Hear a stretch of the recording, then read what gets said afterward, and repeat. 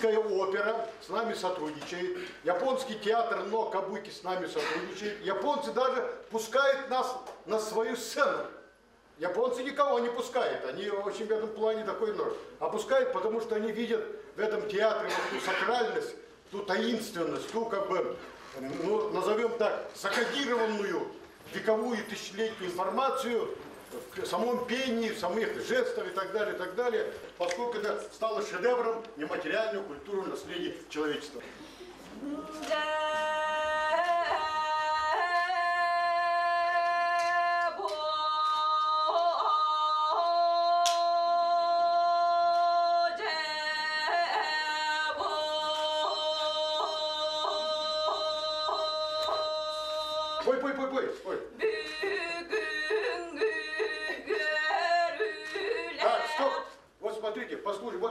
поет так, вы слышите там такие форшлаги, хоп, хоп, хоп, да. Вот это и есть код, это чипы, там есть информация. Э, Вот когда я спросил Аллаха, великого Аллахасута, почему ты когда поешь, тоюк называется эта песня. Вот это форшлаги вот эти, почему нужны форшлаги? Он сказал, без этих калыгах называют, без этого калыгаха сверху не будет литься таюк, говорит, информации не будет литься. Тем, почему эти аллахасуты, таюксуты пели, пели по 50 тысяч строк, они не сочиняли, они через это ловили информацию. Еще раз, э,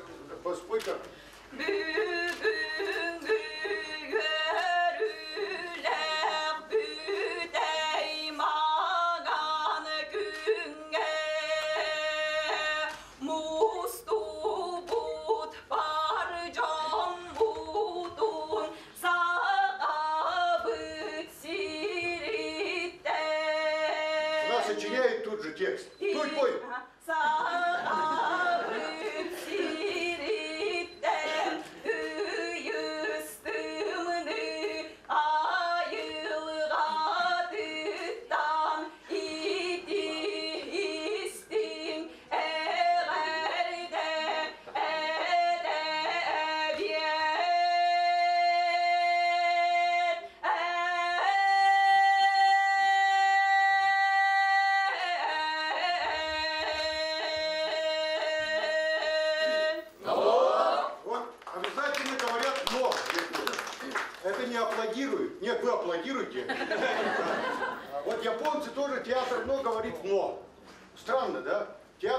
сидят и кричат но кричат. И якуты тоже кричат но. В русском языке тоже есть слово но. Правда, погоняет лошадь, да? Странно, в этом есть какое-то соответствие и в этом есть какой-то похожесть. Давай мужской голос, давай мужской голос.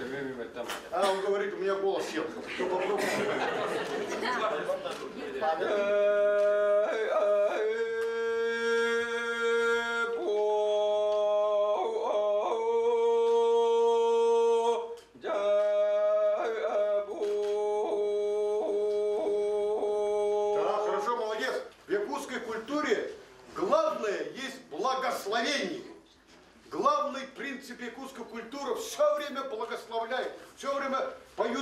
Благословение. Обрядовая, ритуальная история.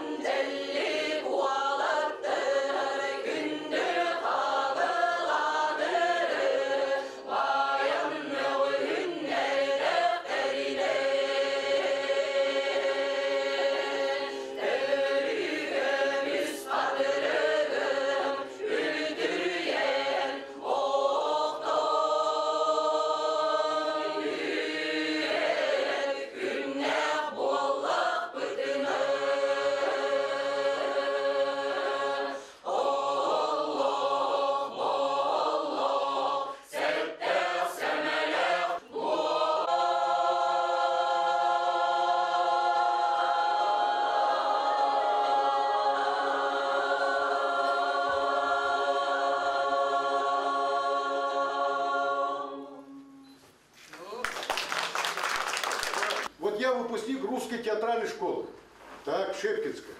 Мы, пройдя через русскую великую театральную школу, пришли к своему театру.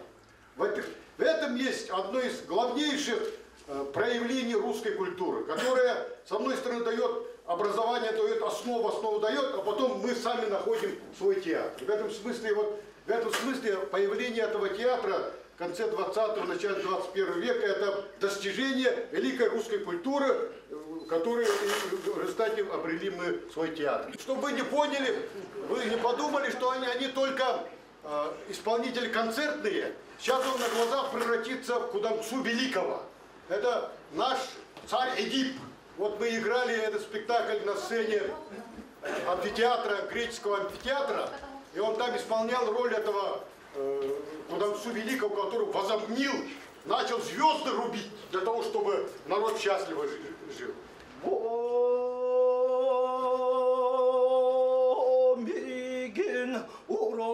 urokko günlerga cıllarga Alız ıdıglanlar olus surağırdanlar Alız atırdanlar. Günet tünen köye köppet beyekelere Uhun sual bun duara kespet beyelere O duna kantan ona hulak toyomut cılka hantan ıyahta ağa bağlık püttir canım. Bu kabarlara arkam tarkam bardılar, ürek bağının tüstüler. Tövbe!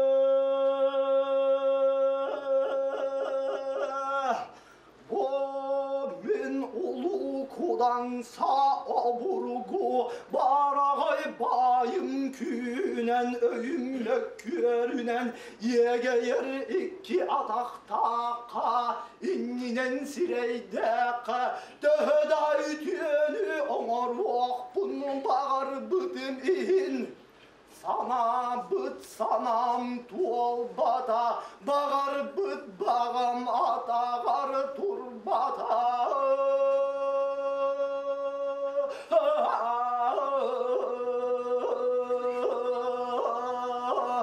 Ну, что такое русская театральная школа?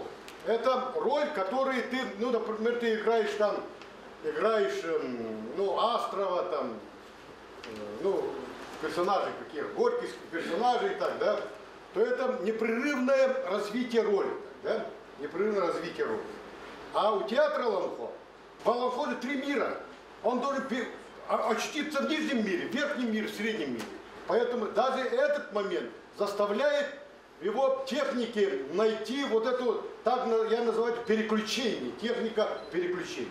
Например, вот Кудамса Великий, он, значит, э, он играет э, человек, который решил э, звезду Венеру изрубить. Так, да?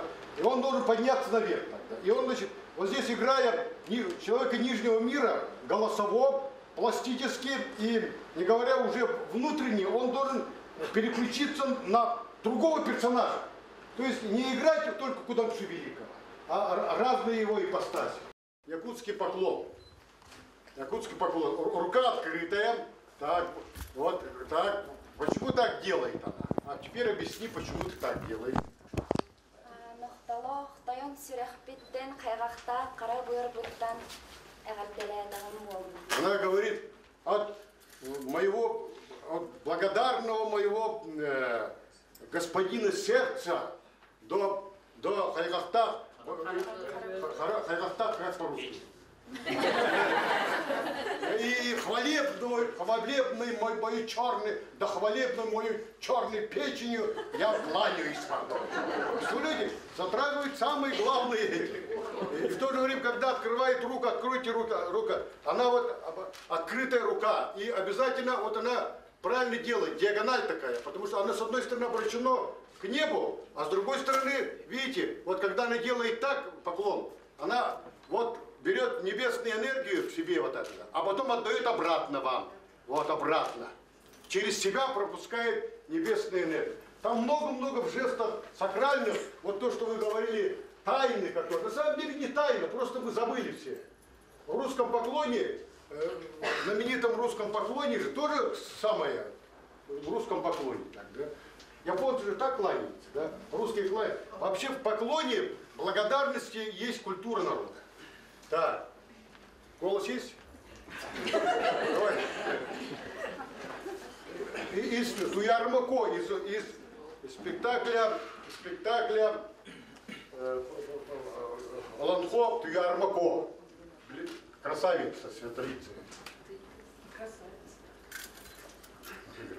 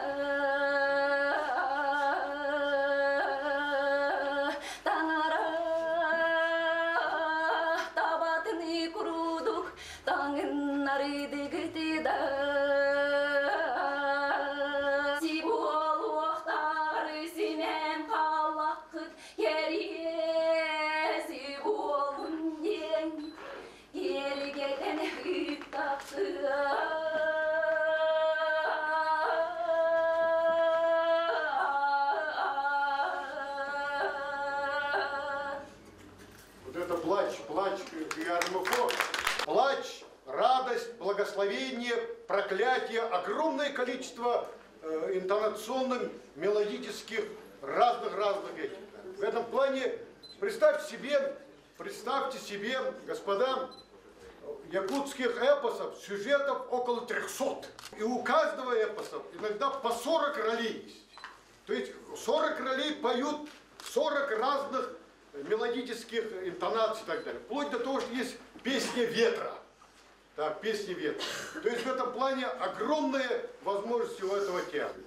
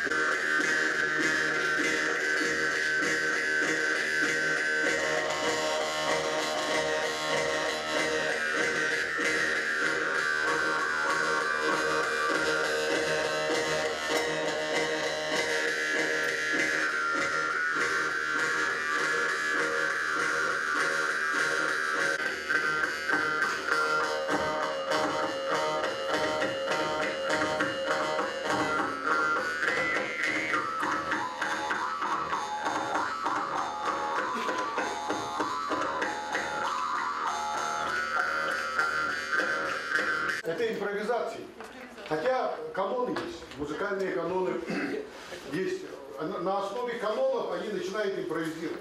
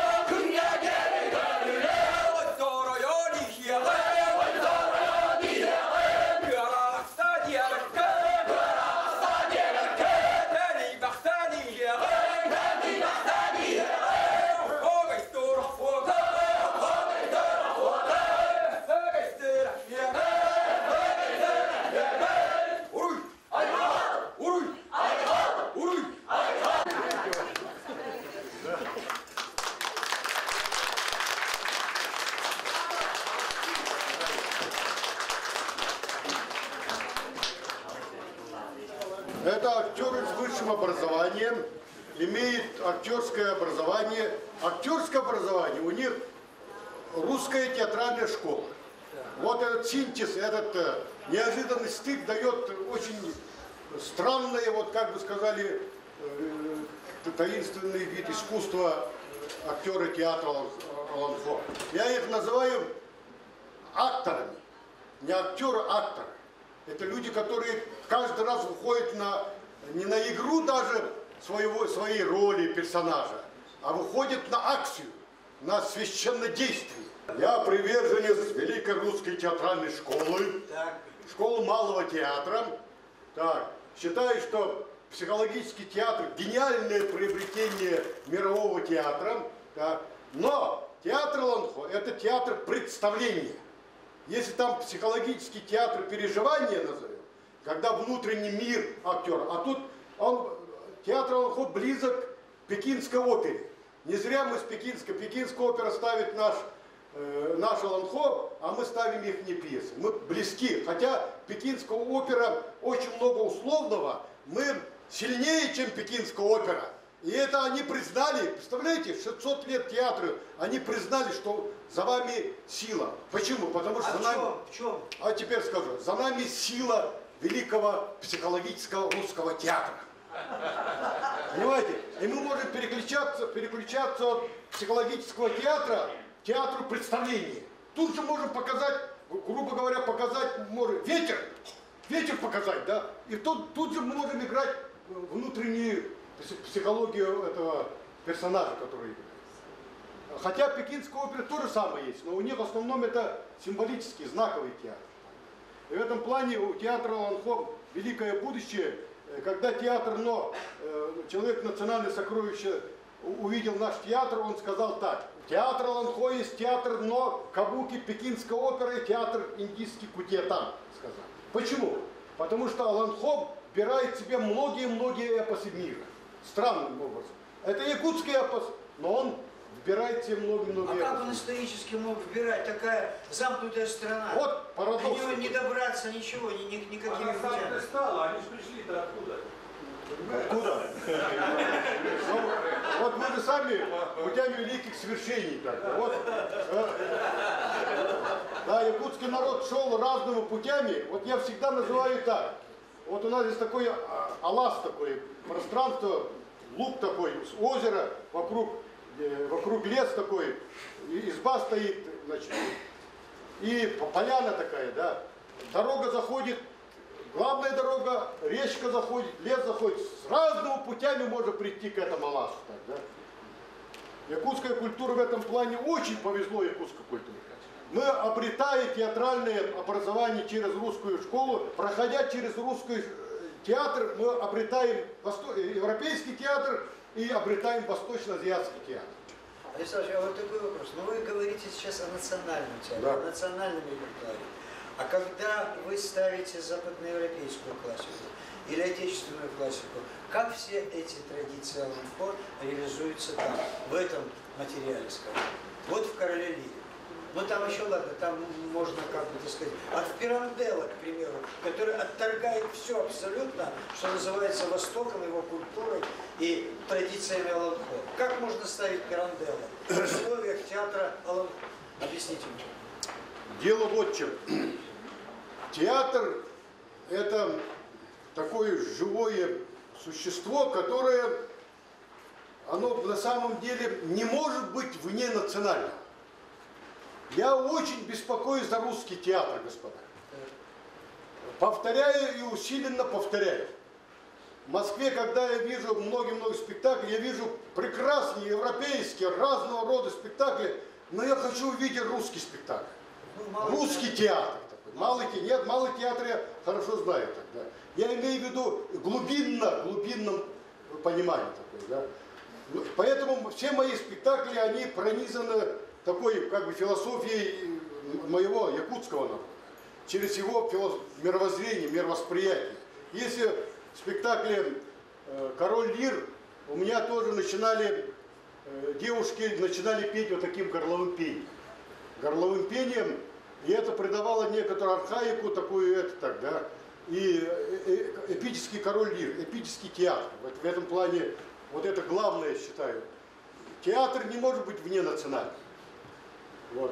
И сейчас я мечтаю какой-нибудь взять, может быть, взять, э, например, пь- пьесу Островского, Островского пьесу, и поставить русский спектакль. Попробовать найти вот главную суть русского театра. Психологически и так далее. Но вот найти сегодняшний русский театр. Для меня очень это важно.